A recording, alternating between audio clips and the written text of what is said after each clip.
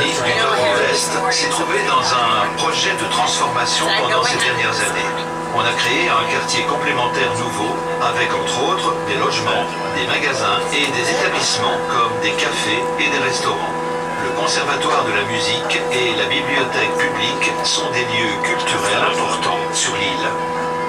On your left, you'll see a large floating Chinese restaurant, remarkable for its bright colors, with its splendid green enameled roof and red pillars. At night it's lit up by some 12,000 small lamps. À gauche, vous pouvez voir un grand restaurant chinois flottant.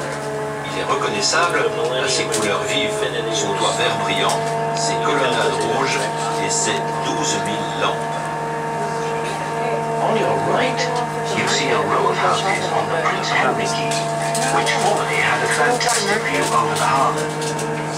The railway line and buildings built on artificial islands in the 19th century took away the view. À droite, Vous voyez une rangée de maisons le long du Prince Henry Cad.